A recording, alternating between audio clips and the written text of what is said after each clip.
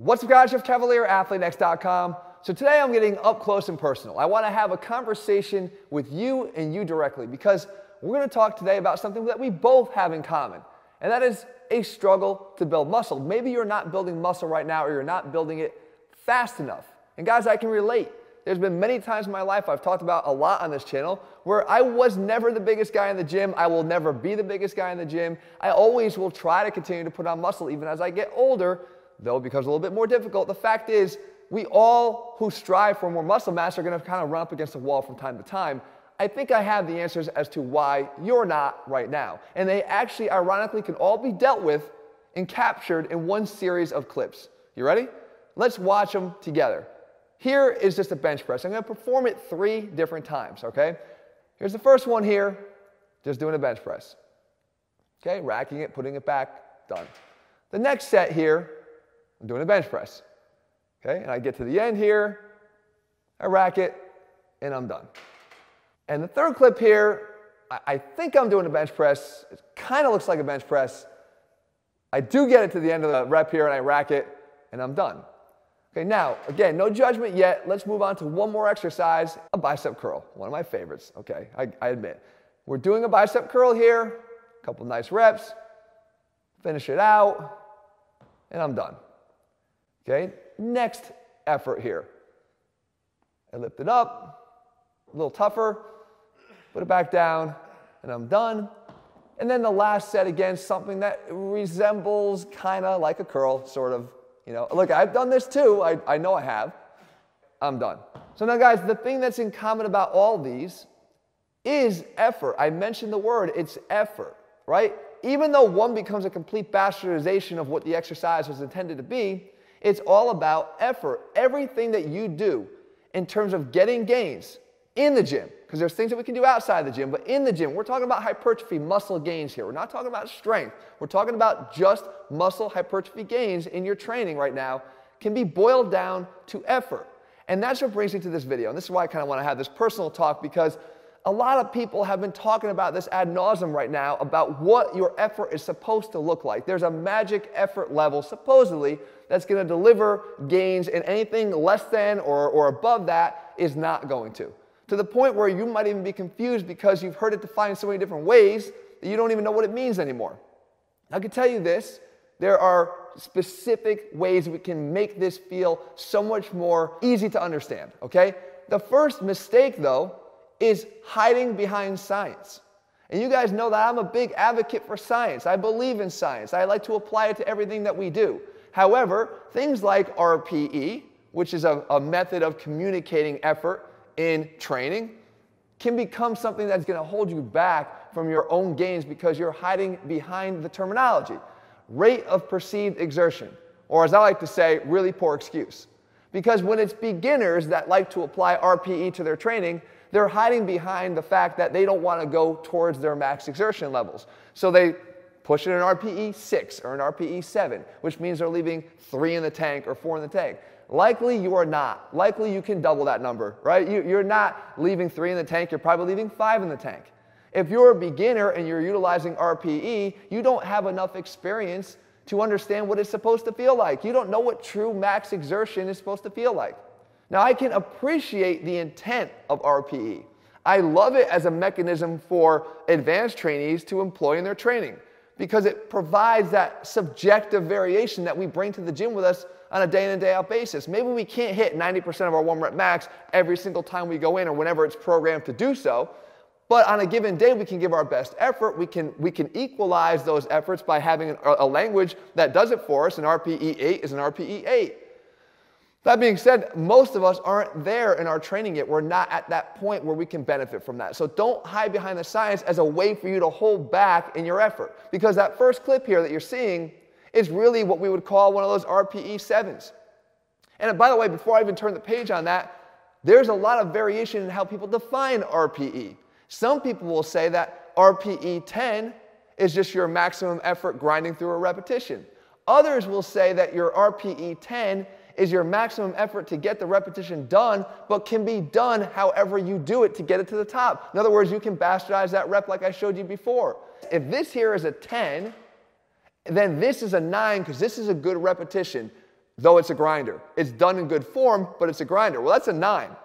Well, then an eight would be just a little bit less than that. All of them are hard. There's no instance here where the effort isn't hard. If you want to make changes, you have to challenge yourself, and it means that everything you do must be hard to some extent. Not that it gets to the point where your form breaks down, not to the point where you start to look like you're not even doing the exercise anymore, but you still have to be putting in effort. If it looks like you're whistling zippity doo dah, you'll be whistling zippity doo dah out of your assholes. You're not training hard enough. Which brings me to these other points, the things that are all encompassed in those clips that are to help you to make sure you get this right every single time. Like you go into the gym and every time you train, you're doing all your favorites. I talked about this before. You shouldn't be doing all of your favorites. This is not a greatest hits album that you're putting together here, guys. You should be looking for exercises that challenge you, right? It's not always about doing the favorites mean that you're good at them. Let's start doing some of the things that you're not so comfortable with and get better at those things. Which leads me to the third thing, and that is the absence of nerves. At some point, you should have nerves before you go train. See, as, a, as an athlete, when I used to compete, I was scared before I would step on the field. I was nervous. I wasn't nervous about getting ready to actually go play. I wanted to play. I couldn't wait until the whistle so I could start playing. But I was nervous. I was nervous about screwing up. I was nervous about missing a tackle, about costing our team the game. I was nervous about the outcome. What if we lost? I'm going to have to deal with that.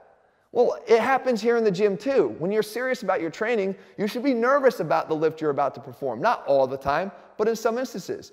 Because what that means is that there's a you care about it number 1, care about it enough to give your best effort and actually have nerves. But secondly, you care about missing the lift.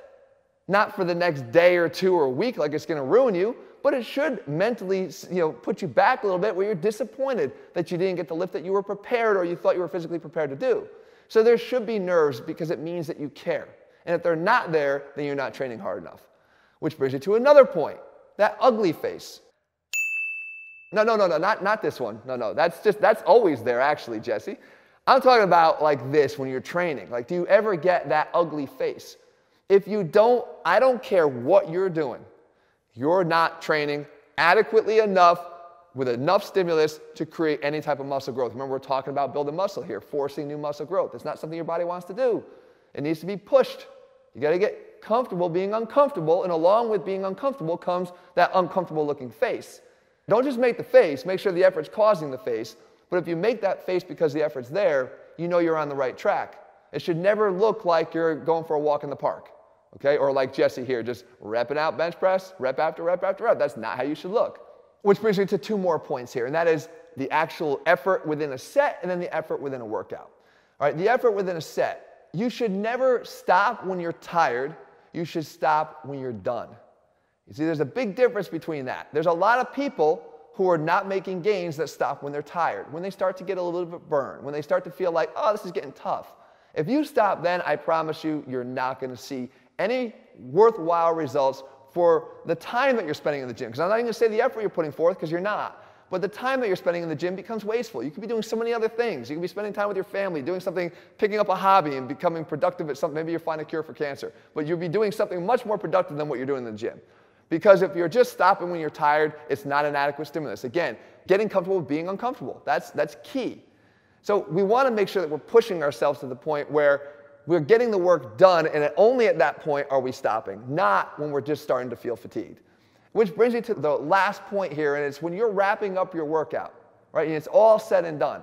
If you leave feeling refreshed rather than accomplished, you've done it wrong. I have never left the gym with the intent to try to build muscle in that workout feeling refreshed. Not a single time.